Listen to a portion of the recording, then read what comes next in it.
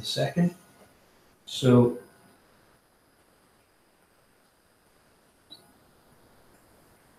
So while you're just working on that, um, today we're thinking about the the kind of strengths and the weaknesses of virtue ethics. Strengths and weaknesses of virtue ethics, and uh, this is a big part of this section of the course. Strengths and weaknesses, their theories and developments, the appropriateness of their continued application and use. Think about that maybe a bit more next couple of lessons. Uh, some, some examples, again, that's something we'll get to a little bit later. We're going to evaluate what we've got so far in terms of Aristotelian virtue ethics. So uh, let's have a look at uh, what you've put in for our starter task. Um, so who was it? Uh, Jesus was Jesus really a virtuous role model? That's interesting. Um, was Jesus vicious or virtuous? Jesus was a role model for many. Yes. Uh, when he said uh, you, he called the Pharisees a brood of vipers, um, snakes, like a, a, de- a, a they were. You know, he called people names. Is that is that a nice thing to do? Is that a maybe there's a reason for it? And when Jesus dies on a cross and commands his disciples to take up their cross and follow him, is that virtuous or vicious? It's really interesting to kind of think. A lot of the commentator, some of the secular readers of Jesus thought he was vicious, not a nice person. And what else have we said? Is flexibility really a good thing in ethics? As this is a weakness. Well, the Kantian ethicist, the deontological ethicist who likes rules, um, would yes, exactly say this. We need universal rules, maxims that we can live by. Um, or we need to think, the utilitarian would think of by consequences. Very good, very good. So you got anything else? Do ethical theories have the same practical use to be valuable? Uh, no, so that's a strength. Um, just because we can't practically use it doesn't always says it needs to be a strength. Things, selflessness and gen are always a good thing, even if they don't produce anything. Um, anybody said anything else? Did I miss anything out? Is virtue ethics a selfish theory? Um, no, because if you do it for the glory, it's not true. That's interesting. So if you try to become virtuous for the sake of being virtuous, is that vicious? okay.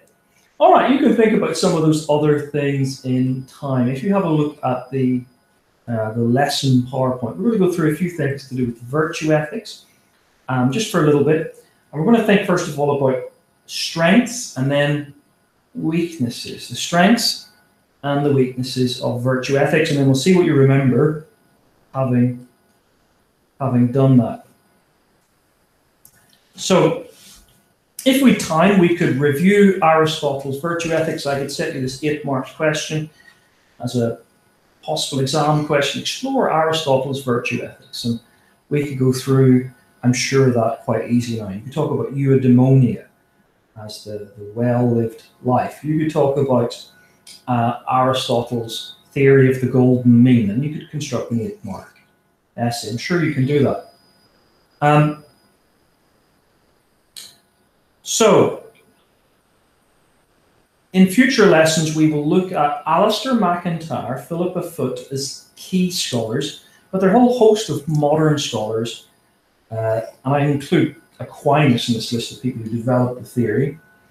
But in the modern world, Elizabeth Anscombe, um, was one, and then later on, Hursthouse and uh. Uh, we might go ahead and look at some of those before future lessons.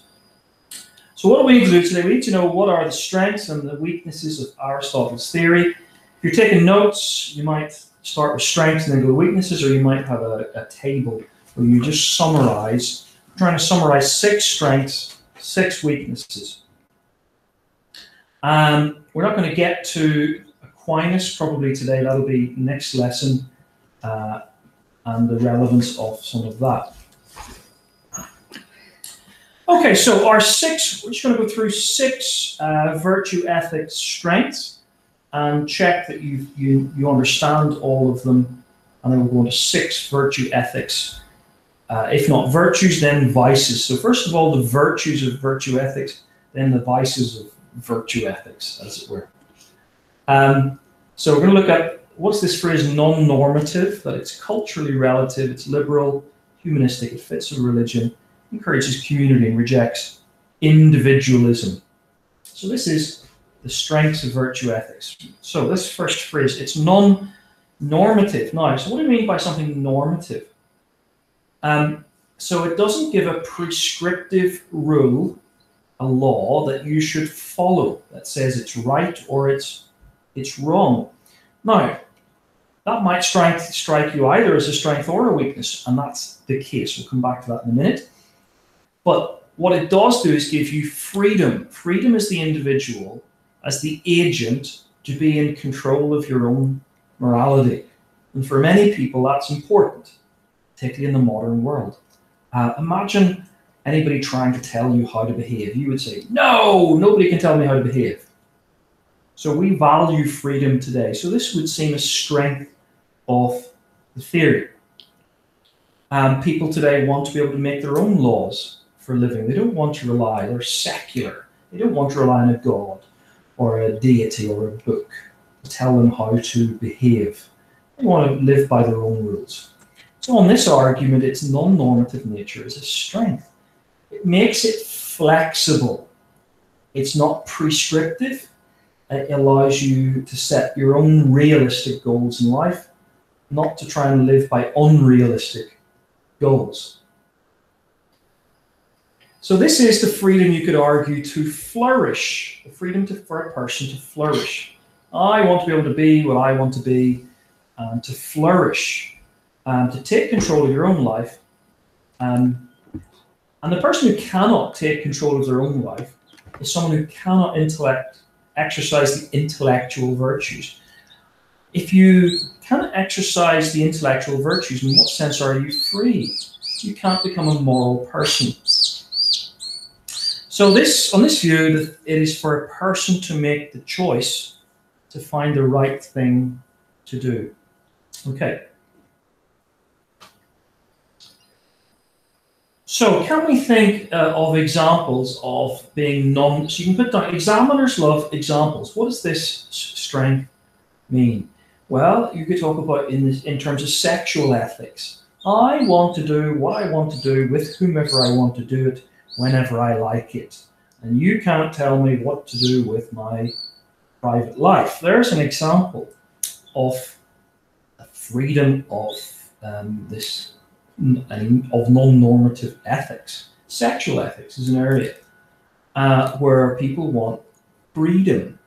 Think about medical ethics. What about abortion, euthanasia? I want the right to end my life when I'm in pain or to terminate this pregnancy. These are all examples of uh, when modern people think of freedom as a good thing. Uh, we might criticize that, but that's those are examples that could be given. The origin of this idea of absolute freedom is not actually um, Friedrich Nietzsche. It actually goes all the way back to the Greeks, Epicurus. Um, he said, Imagine there's no heaven or no hell. That wasn't John Lennon. It was actually Epicurus. Um, later on, Plato would say, or, the problem with Epicureanism is, is that sort of freedom is difficult to live with. We need in a society rules uh, to abide by. We need a strong leader in Plato's re- Republic that he talked about to, to guide us and Nietzsche would come along and say that, that we should reject such Platonic stuff and seek the, to, the will to power our own freedom. And later, Karl Popper as well would talk about the open, the, uh, Plato as an enemy of the open society. And the existentialists, again, talk about the terrifying freedom when you realize that you know there's no God or no meaning, no purpose in life, and so on. So that's number one. Uh, it's, it's non-normative. Number two of our six strengths. So Aristotle's it's culturally relative. So it's non-normative. This is a related idea. It's culturally relative. Aristotle said that virtues are culturally relative. Specific to a particular culture is a set of virtues that might not fit another culture. Now, this would support the view that no culture is superior to another. All cultures are morally equivalent. And the theory allows the ideas of virtue will, will vary amongst cultures. Now, immediately people will disagree with this. Some people see Western society as a great culture, much better than primitive cultures. Um, a guy called Hegel promoted that idea. And you find it a lot today in politics of perhaps the right. Um, and that can be anachronistic. The people in the past are, are perfectly sensible. Uh, people in other parts of the world are perfectly intelligent. And it can be a, a, a real um, weakness to think that other people are less culturally developed, less intellectually developed as, as we are. Um, the context of Homer's virtues as well. Homer talks about the virtues of the warrior whereas Aristotle talks about the virtues of the civic society. Shows a little bit of this. So, saying something's culturally relative uh, is beneficial for our society. It means that, uh, that any society in the world can use virtue ethics. Um, any society can identify what's good for that society for themselves and work out the correct virtues. Now, what kind of virtues are relevant for us today?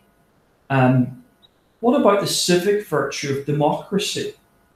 Uh, of being, and in democracy that includes several things, being um, both critical uh, of power, critical of people who want to have power over us, but at the same time being civic minded, uh, being wanting a person who contributes to the good of your society.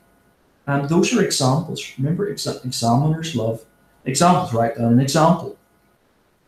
So, strength number two, it's culturally relative. So it's non-normative, it's culturally relative. Number three, okay. I'm just going to check the chat. I can't see the chat on my screen. If you want to ask a question, do shout out. Uh, otherwise, I'm going to keep going through our six weaknesses, and then I'll, I'll talk with you more. Okay, um, strength number three. It's liberal and accepts mistakes. Um, what do we mean by it's liberal and accepts mistakes? Well, virtue ethics allows that we learn about ethics over time, that we can develop. And surely that's realistic. Children aren't born with virtue, they have to develop it. We assume people are virtuous without any room for them to develop, that doesn't give them um, any any real opportunity to develop. So virtue theory takes into consideration the whole person. People aren't judged simply by one mistake. Their the whole life that they have lived uh, is taken into consideration. All of you know, and perhaps in hindsight, from almost the end of their life, before you make a judgment about a person's life. And as long as you're making an effort to change your personality or are attempting to practice the virtues, then you're doing the right thing. So mistakes are to be tolerated on virtue ethics. Now, um, there, well, there are a great many things we could say about this. Uh, within comes to mind, you know, Jesus would be against the Pharisees, who were always judging people for one mistake, not looking at the overall uh, round of their life. It seems that's the way Jesus judged people. Um, so, three, it liberates, it's liberal and accepts mistakes. A person develops, they move through different stages of their life. And it's possible to be both vicious and virtuous over the course of your life. I know, in, in for example, in COVID 19, you know, there, I've probably developed some vices as well as perhaps some virtues because I'm, you know, responding to situational features. And this theory says that there's this is a, a positive view of human nature. It's concerned with reform, not retribution. It's concerned that a person can change and develop their nature. So, virtue ethics is non normative, virtue ethics is culturally relative, it's liberal, and it makes mistakes. I'm going to ask you to repeat these back to me in a second if you can remember them. Okay. Number four, Ollie, yeah, I'll pause.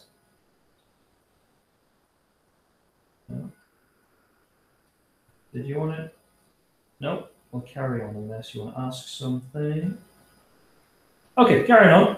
So, virtue ethics number four of six is de- developing this idea of it is, is that it's liberal and it's it's humanistic. Now, so what do we mean by humanistic? Well, it doesn't necessarily. It's not necessary. It could be. You could have virtue based on a divine command or a Bible. There are virtue, and we'll see this in in next lesson. We look at Aristotle and his not Aristotle, Aquinas and his use of virtue ethics. But you can just as well be an atheist and, and believe in virtue ethics. You don't have to have an absolute source of morality to justify holding to a particular virtue. I often say my my father-in-law, who was an atheist for many years, was a much more virtuous individual than I am. I'm not a very good Christian. I have many vices, not least of them uh, Ben and Jerry's uh, chocolate ice cream with little bits of um, um, brownies in it. I can think I could list my vices all day long, and my father-in-law would never deem to, you know, take such tr- trivial thing as Ben and Jerry's ice cream. He's a much better, much more moral person. I'm not a very nice person in many ways. And some, you know, after I've marked a load of year nine essays, I'm not very nice. Um, it doesn't need a God to justify why to be moral. Uh, you can be vir- virtuous and be an atheist. Uh, it gets its backing from humans and what we find in humanistic theory, what it benefits humans. So it has a lot of attraction for non religious people. So anybody can follow this theory. That's the idea, religious or non religious. And if we take the example of British society, you might argue that, and this is what Elizabeth Anscombe argued, there has been a great moral vacuum caused by the decline in religion and the rise in postmodernism in society. And virtue ethics could fill that moral vacuum. The people, uh, the more people become virtuous, the better our society will become. You can also give direction and guidance to those that are lost, adrift in empty space. students, children, there's a great move, and I've studied this for my doctorate, on character education. I want to throw a couple of scholars in. Under humanistic, uh, one of the scholars that I named earlier is this lady here, uh, Martha Nussbaum, she writes about virtue ethics that it's compassionate and caring, takes the whole person into account. And it's interested in, here's a key word for us today well being. Think about mental health and well being and the fulfillment of the individual. There's a big connection between well being and happiness. And happiness for Aristotle is the life that reaches its potential. People who feel their potential is being achieved, their virtuous potential, are more likely to be happy people. Um, would argue. And she has a point. And so virtue ethics can help with uh, mental health, as it were, and well being. Another scholar, Robert Solomon, has argued the very idea that the good person is one who acts according to right principles makes my blood run cold. he emphasizes that all the time the importance of the person, after all, is the object of the moral discourse. So Robert Solomon says, in the end, morality should be about creating moral beings, moral agents, not about simply sticking to the rules. So, uh, Ollie, can you name our four virtue summaries so far? Virtue ethics is non what? Non normative, culturally rel- um, relative, liberal, and humanistic. And humanistic. Um, have you got a microphone Flo today? Just don't if you haven't, um, you can not speak. okay, right, you know microphone. I might, uh, I'll, I'll figure out something to include you in the quick Q and A in a minute. All right, we'll keep going.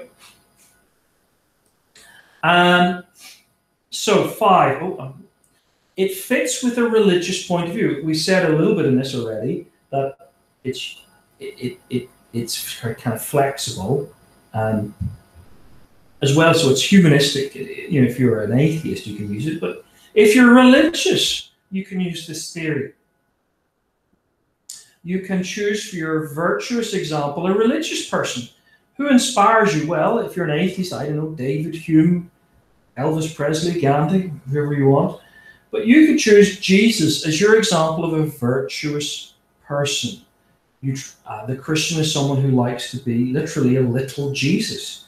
Someone who, in fact, the word Christian means someone who's copied the virtues of Jesus and becomes like Jesus, a little Christ, is what the word Christ means. It was because the, the Christians in the main church of the first few decades after the death and resurrection of Jesus, and the church in Antioch, about 90 miles north of Jerusalem, and they did the first recorded act of charity. And this act led to them being called Christians, little Jesuses. They copied the virtues of Jesus. And today, Christians use what would Jesus do to think, what are the virtues of Jesus? How can I be inspired by them? And many examples of Christians, Mother Teresa and many other Christian saints who and writers who inspire Christians. So, moral heroes. Moral heroes uh, like Mother Teresa, would inspire people to think, what would Jesus do for themselves to try and copy and be like Jesus? So a Christian can sit, therefore say uh, that they're interested in virtue and seek to maximize the virtues that Christianity cherishes. And I will say more on that tomorrow. What are the virtues exactly that Christianity cherishes? When we look at Aquinas and virtue, we'll dig into this a bit more. Oh, just so, just to preface uh, tomorrow's lesson, Aquinas, using Aristotle's thought, talks about the relationship between Christianity and virtue ethics. And so, for example, he says it takes a, an intellectually virtuous person to understand the difference between true and false goods, internal and external goods. It takes someone with intellectual virtue to understand the, the difference between, well, to understand the cardinal virtues, which can be understood through the intellect, through reason, but it takes someone who's open to religious experience and the, to understand the theological virtues that are revealed virtues of faith, hope, and love. And, and this would get developed into a whole plethora of virtues. There's a passage in the Bible that talks about um, the, the, the fruit of the Spirit love, joy, peace, patience, kindness, and so on. These are virtues. Okay. One scholar on this, this scholar here, um, called Leslie Stephen, um, says morality is internal. The moral law has to be expressed in the form be this, not in the form do this. The true moral law says, hate not instead of kill not. The only mode of stating the moral law must be as a rule of character. So the law, the Bible talks about the law is written on our hearts. It needs to be, uh, it needs to be in, internalized, not just a rule that we follow, but a, a position of the heart, we, something we become. So uh, it's non-normative. Number one, it is uh, culturally relative. Number two, uh, what's number three, Flo? Type it into the chat. Go on. I forget. Come on, help me out. Non-normative. It's culturally relative. It's I think look back at your notes.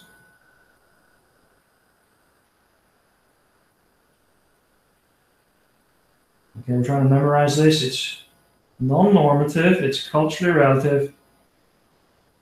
Okay, it's let's look at it then. So does the idea of you know how um is what the fifth one was fits in with religion? Yeah. Does it not um sort of counter uh, natural moral law a little bit because Go on. the um because you're not born with um virtues or morals in this one, but whereas in... what a lovely thing to say! What a, an insight, uh, Ollie, and it thus speaks.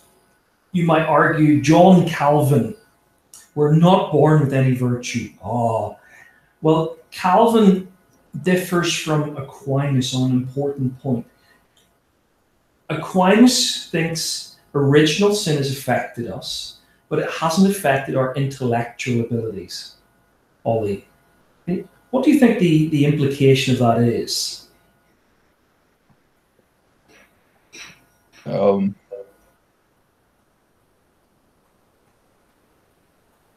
what part of it would it sort of affect? Yeah. yeah. So if our intellect, our reason is not affected by sin, then we can use our reason for what? well, good, I suppose. Yeah, arriving at moral theory. And hence, Aquinas develops a whole superstructure of moral theory. Mm. And John Calvin, the great Protestant reformer, with his tulip theory, as it became called, believed in the noetic effects of sin. He rejected Aquinas's confidence in human reason and logic and claimed with Luther sola scriptura, uh, we can't trust logic and reason. We can only trust the Bible, revelation. And that's one of the great things that splits uh, the Christian church between Protestant and Catholic. Ollie. Cracking insight. Really, really good, Ollie. That's really good. Um, okay, we're going to crack on then. Uh, so flipping through really quickly. So it's non-normative, it's culturally relative, it's liberal, so it's flexible, it's humanistic, it fits relation, and it encourages community and rejects individualism. Let's have a look at this. Um, so, VE encourages community and rejects the individualistic approach to ethics, by which we might be thinking Kantian ethics. We haven't done yet, I know. Perhaps we might be thinking natural moral law, but I'm not sure uh, that's in mind here. Particularly probably Kantian ethics, which is quite individualistic. You do the right thing because that's the rule. Um, what do we mean by that? Well, in the 20th century, the person who revived in the 1950s virtue ethics was this lady here, Elizabeth Anscombe. And she bemoaned the state of ethics for the ordinary man that there was a moral vacuum. There were no practical systems of ethics that ordinary people could use. Following the destruction of Christian ethics by utilitarianism, by David Hume, by logical positivists, and all this, these bunch of people. So Anscombe said, accepted, basing everything on reason and rules and laws has not worked utilitarianism has not worked. Uh, natural moral law in a way hasn't worked. Um, Kantian ethics hasn't worked. It's a very man male way of approaching ethics on reason. A more gentle, and you might say feminist approach, and by gentle I mean strength that is controlled, approach is a recognition of the value of relationships and community in building life rather than me working out on my own, having to do the ethical life in the context of other people. So, help me out here. This is the summary of the strengths. Um, so, Flo, give me, can you type in or can you shout out one thing? You still, you still there, Flo? Um, to do with uh, the, the first strength of virtue ethics. I'm assuming you haven't got a mic, Flo, because I haven't heard from you at all today. Not, not hearing her at all. Okay, we'll, we'll move on. Um, work with me, Ollie, then. Uh, give me a summary of, what, of number one. What have you put down? Um, it's non-normative, so non-legalistic. Uh, allows more freedom. Um, but also put about how it can be a weakness because of terrifying freedom and um, Hold on. Okay, let's we're moving on to the second one. So Yeah, yeah. Right. We'll take it one bit at a time. So it's non-normative. Virtue ethics is flexible. It doesn't demand prescriptive duties. Doesn't set unrealistic goals. Go on. What's the second one? um, culturally relative. Culturally relative. Very good. And summarize that for me. Um, it doesn't. Um, it sort of suggests that all cultures are um, morally sort of equal and relative, and um, allows that the. Uh, Okay. Allows um, around allow, oh, allows that the um, the middle ground and sort of golden mean may be different in different cultures, but doesn't mean they're less um, virtuous than others. Okay. Very good. Number three. What's number three? um, liberal and accepts mistakes.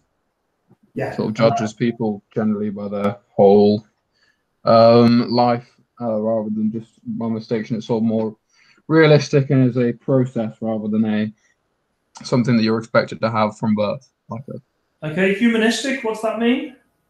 um, it's focusing on humans and doesn't require a god and can be based um, sort of entirely on sort of practicality and efficiency for humans and sort of the the their maximum enjoyment and Very good. happiness. Uh-huh. Number five. What was number five? Nearly there.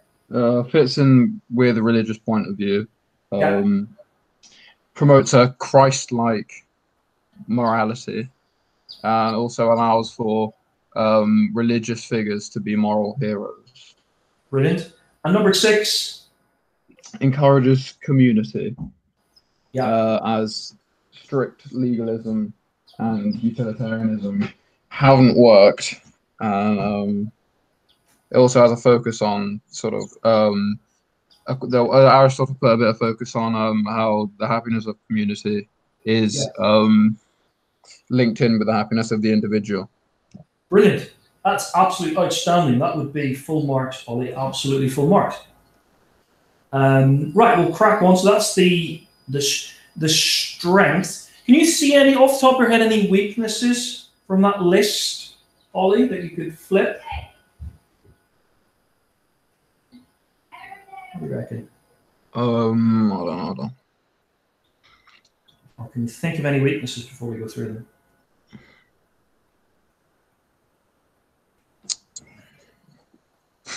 Well, the non-normative, I suppose, it's can potentially be um,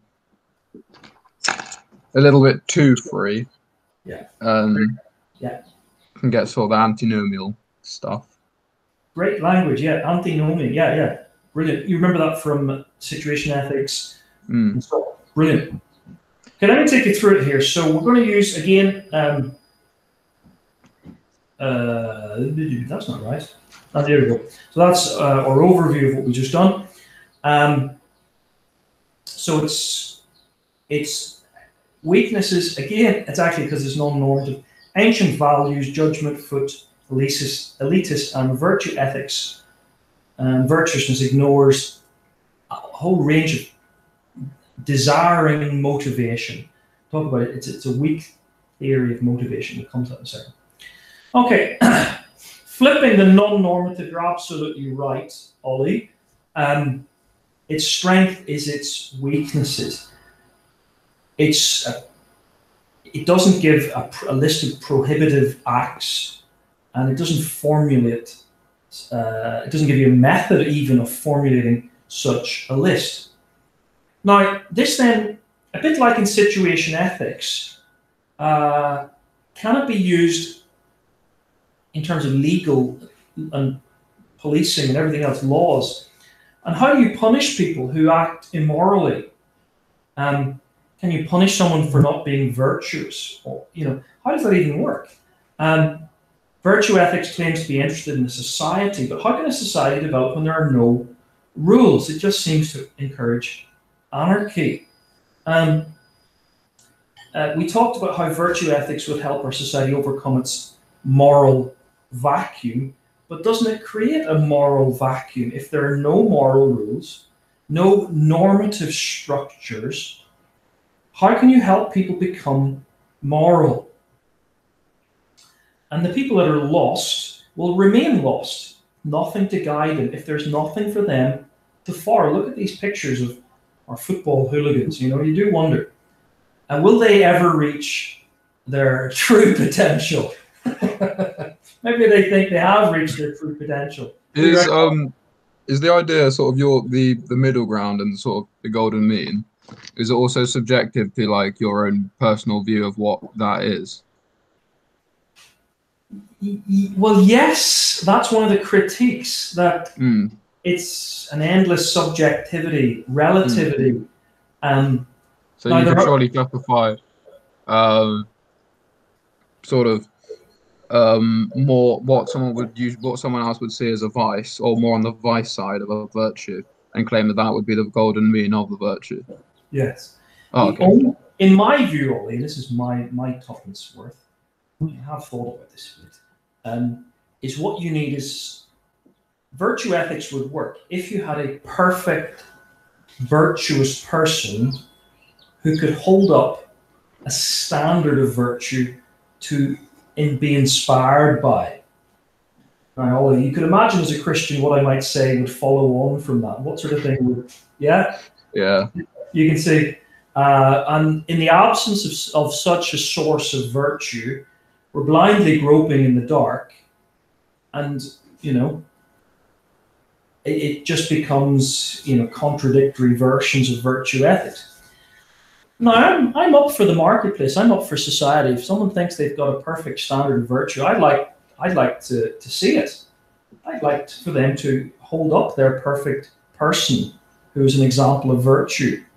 Um, I, I, think for myself, Jesus probably stands up as a, a fairly good example of virtue, despite what Palmer and other people in the 18th century said. There we go. So we can flip non-normative. Here's a couple of other things you might have you might put down, Ollie, uh, or Flo if you're still online.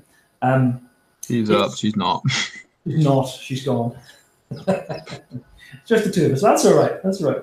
It's it's circular reasoning. Look at this. What should I do? Do what the virtuous person would do, says Aristotle. Who is the virtuous person?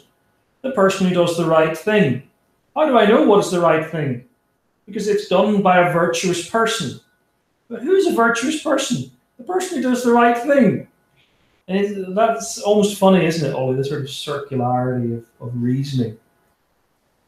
Um, now, different societies have different cultures and they value different virtues, and this become pronounced. Um, Christendom and the Christian culture of the West val, uh, saw pride as one of the main sins, the seven deadly sins. The chief of them was pride. was the the the the, the gateway vice to so many other vices. And humility would be the opposite. It would be the gateway virtue to so many other virtues. But for Aristotle, he actually saw pride as the, the crowning virtue. Pride is a crowning virtue. Aristotle and Nietzsche would support him in this. So the great souled man. Now, that doesn't give you shivers. I don't know what does. Think about Hitler as the great souled man. Um, hmm. There's an interesting point to, to think about. Again, on this non normative uh, weakness, uh, how do we make a list of virtues? As we said, the scholars all disagree. Virtue ethical scholars cannot agree on a list of virtues that are appropriate. Give an example Keenan, I mentioned earlier, lists prudence, justice, fidelity, self care, and mercy as the chief virtues. Whereas Rachel, uh, Rachels uh, suggests courage, honesty, loyalty, towards friends as the chief virtues. So scholars can't agree on the virtues. Ah, oh, welcome, Izzy. Welcome. Uh, let's talk about virtue and vice. Uh, and the weaknesses. We got on to, we've done the strengths and the weaknesses of virtue ethics. So good to have you. So we're on one of six. So at number two, uh, ancient values. Now, what you find is with virtue ethics, a lot of ancient values get smuggled into the modern world. And are these values really applicable today? Um, the sort of stoic values typical of Aristotle. Can we really apply Aristotle to today? Ancient civilizations were very, very different. And what is good for them is not necessarily good for us. So even with the additions of Aquinas, um, and his theological virtues, is that relevant for us today? And that's those are general questions that would be given. Um, just by the way, examples, examples of the theolog- faith, hope, and love in our secular society. Those revealed virtues, in what sense would they be um, applicable to the contemporary person who would reject revelation? And the, the four cardinal virtues, you know, uh, temperance. Take temperance. I'm a, you know, for people who, who binge on Netflix, uh, you know, you know, who want to watch an entire series of Love Island, sounds like something torture to me. But yeah, is that relevant? Okay, so it's non-normative. Uh, ancient values are problematic. So why, in particular? Well, the, Aristotle said society and individuals should value as the highest thing the contemplative mind.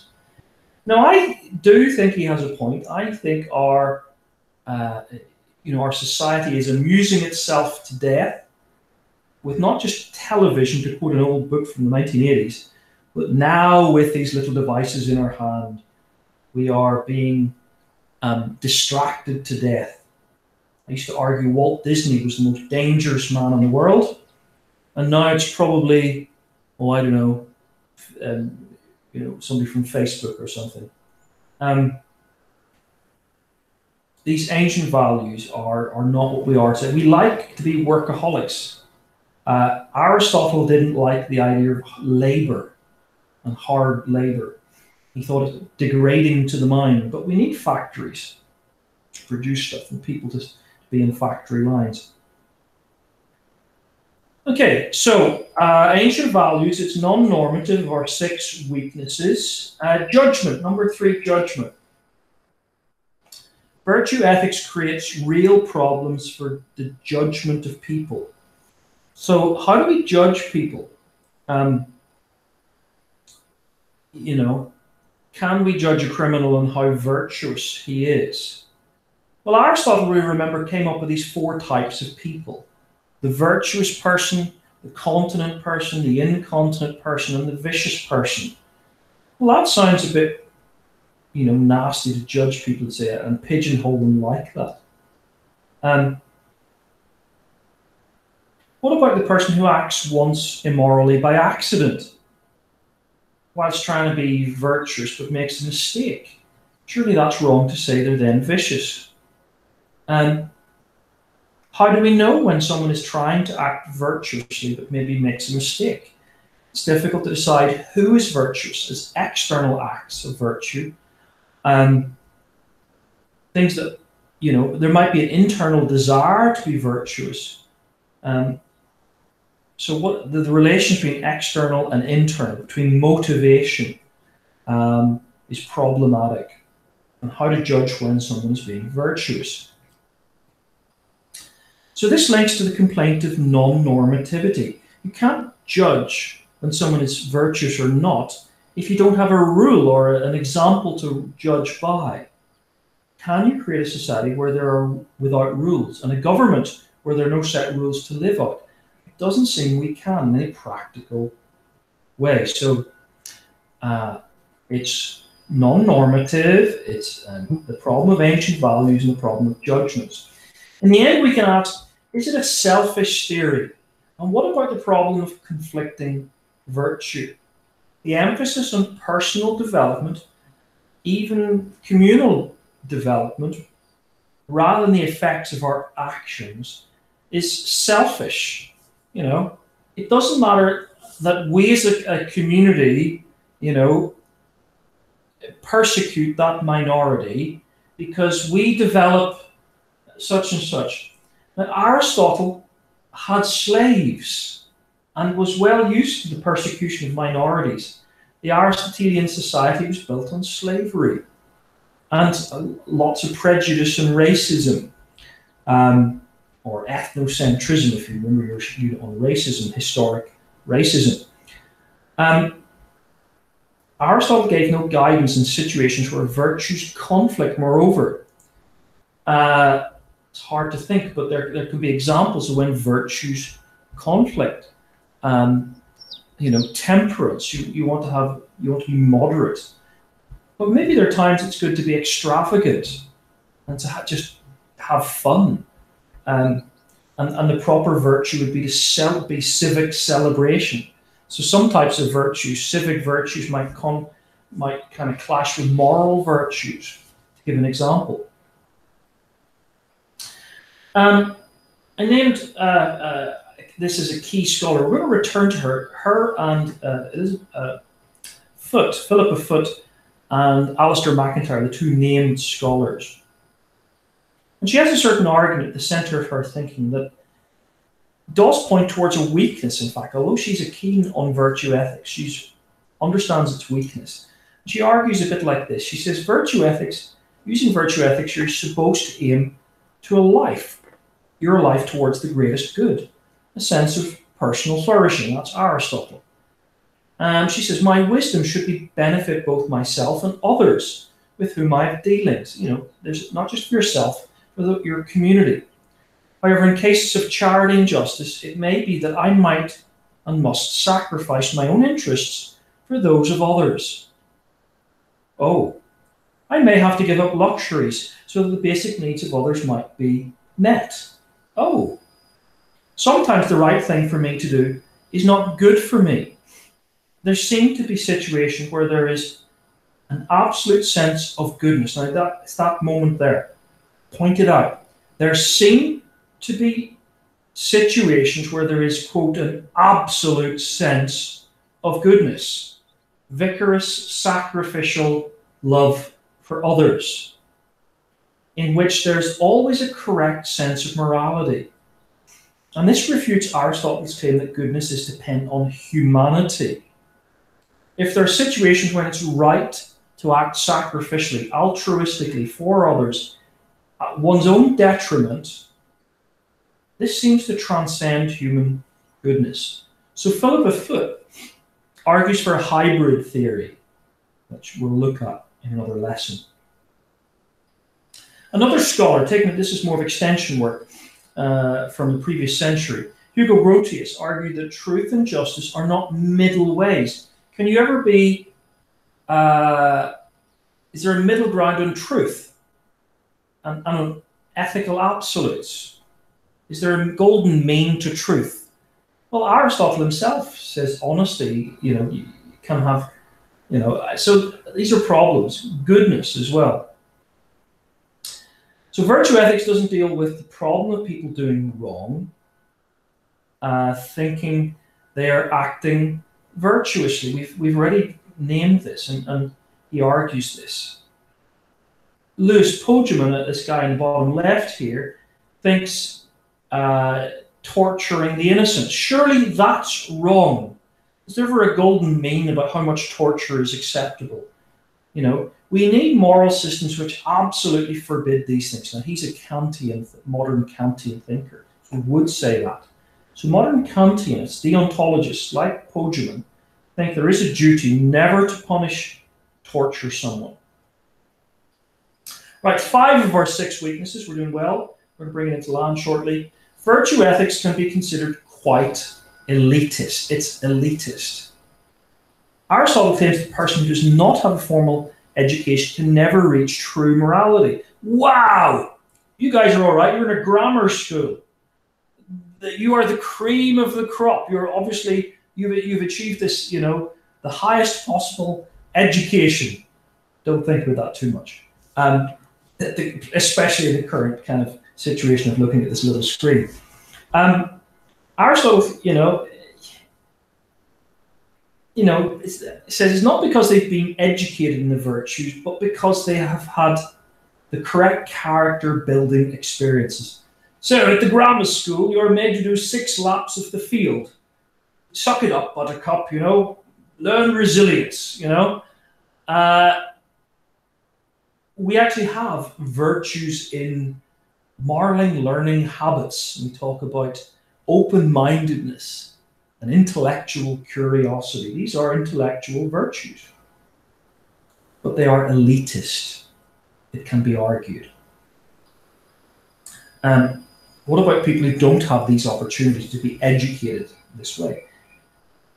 It seems wrong because someone is who's uneducated and poor it's suggesting they cannot be moral because they're not given the proper education. Um, these people, you know, it's not, you know, judging people in a way. These people, in order to make a moral action, will have to overcome stronger moral dilemmas, situational features. And the journey that you should always judge someone, I think, on the journey they take. I used to work with drug addicts and many of them died. But it was incredible to see some of the journeys they would take. You'd always judge someone on the journey that they take, not on the end result.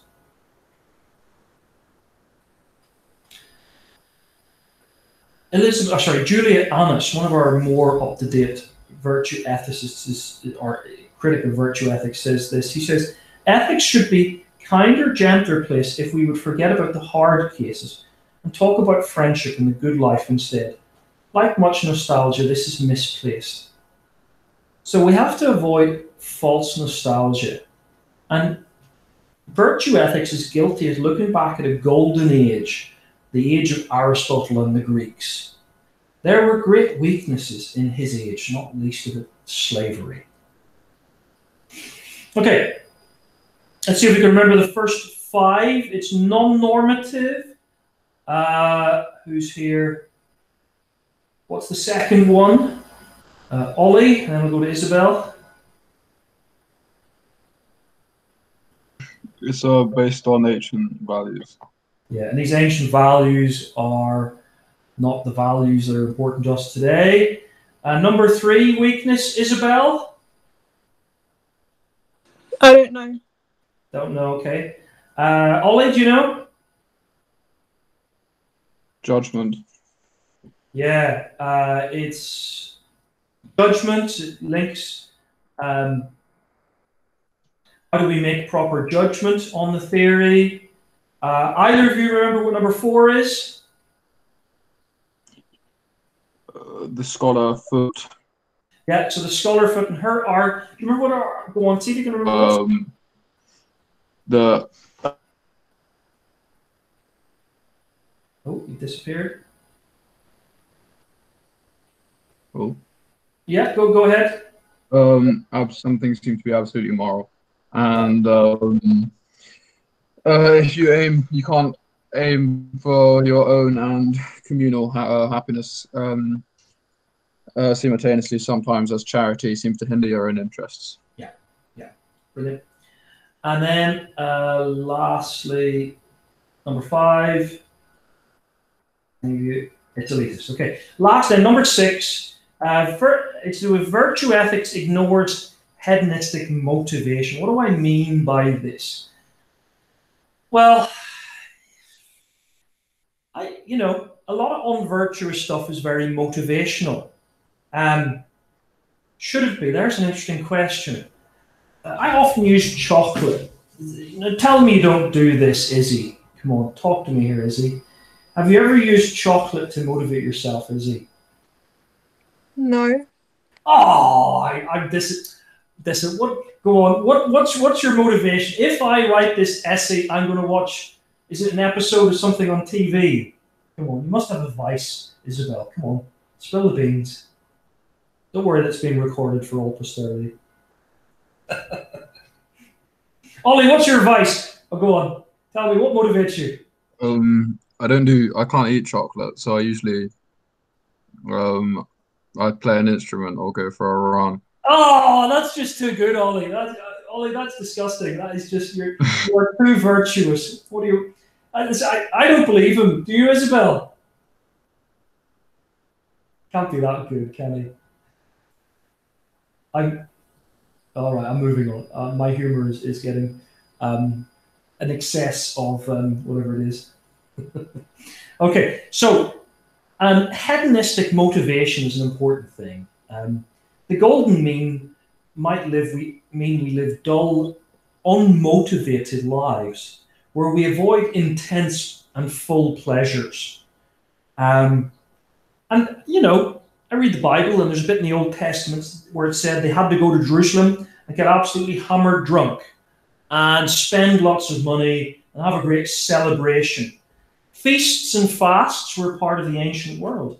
I like a bit of feasting now and again, you know. Don't want to live a sort of mean life, a sort of golden mean life. Russell has the same complaint.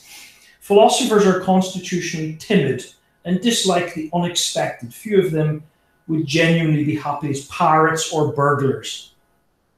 You know, who doesn't want an adventure as a pirate or a burglar now and again? Um, being temperate the entire lives isn't, you know. Uh, C.S. Lewis said the world would be a happier place with more alcohol. Well, yes. Now his brother was an alcoholic, but that we'll put that aside.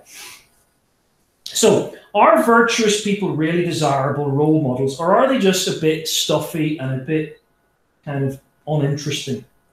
Um, this woman, Susan Wolf, says, as a scholar, I don't know whether there are moral saints, but if there are, I'm glad that I'm neither I am one, or nor those about whom I care are amongst them. Would you want to be a moral saint? Well, maybe, maybe not. Not everyone wants to cultivate the virtues and maintain they're intrinsically good. Is true. Okay, so there we go. Those are the weaknesses. I haven't done a little list, but so we said it's non-normative. Uh, it- the problem of you know doesn't give us clear moral guidance. Ancient values doesn't deal with the problem of people doing wrong. Um, I'm thinking they're acting virtuously, and you know there are values from the ancient world. Why would we want to live by them today? Judgment. What virtues need to be cultivated most? We don't know. Uh, how do we know when someone really is making a, acting virtuously? Uh, as virtues have been relative in different cultures. Uh, one culture might value the intellectual virtues, other may value physical courage. And Aristotle gave no guidance in how to make judgments in situations where virtues conflict and, and rules to guide our action. Only thought is it a selfish theory, it's individualistic on personal development rather than the effect you know, of our action, either my development, development of my society, whatever the consequences. Uh, Elizabeth Foot, in particular, argues Aristotle's claim to goodness is dependent on humanity being refuted uh, by selfless actions. It's elitist, and Susan Wolf talks about uh, not wanting to follow moral sense. Okay, there's a lot going on in your lives at the minute, uh, but if you want to put this into practice, here is a possible exam question. This is not a you must do this or I won't give you a UCAS reference. Absolutely not. We've done loads at the minute. So this is a suggested question. For practice, assess the claim that developing virtuous character is the best way of achieving eudaimonia.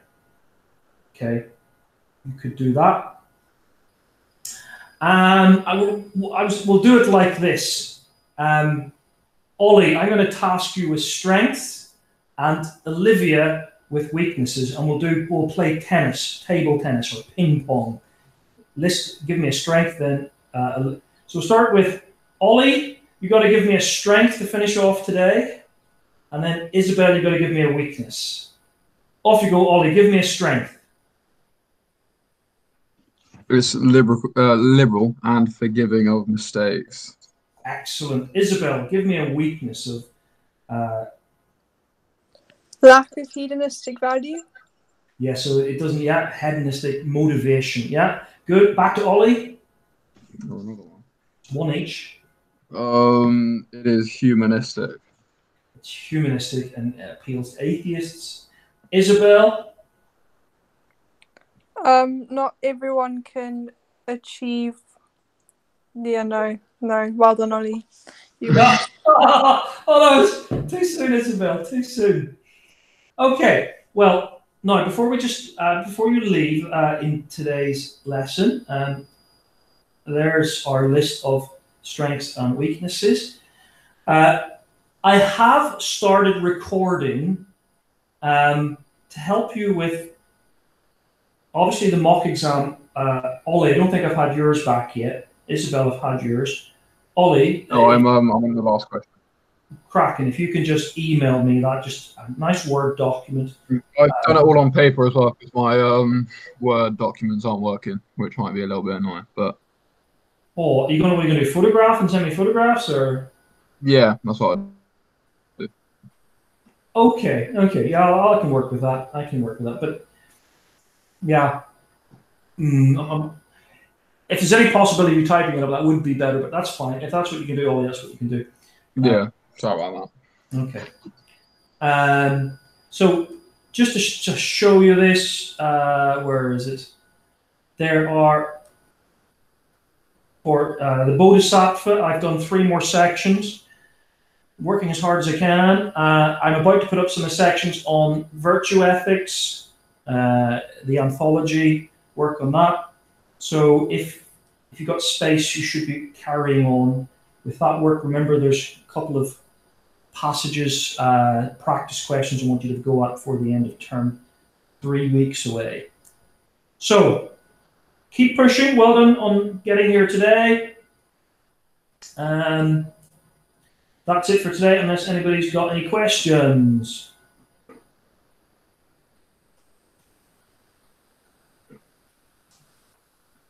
I think that's all. That's all good stuff. Right, can Oh, see. Yeah, Um, oh, tomorrow, tomorrow, tomorrow, tomorrow is also 3 p.m. I have another meeting tomorrow. Um, I hope you can make it. Um, sorry about the change of times again. Um, but thanks for coming. uh, so for the um for the Marling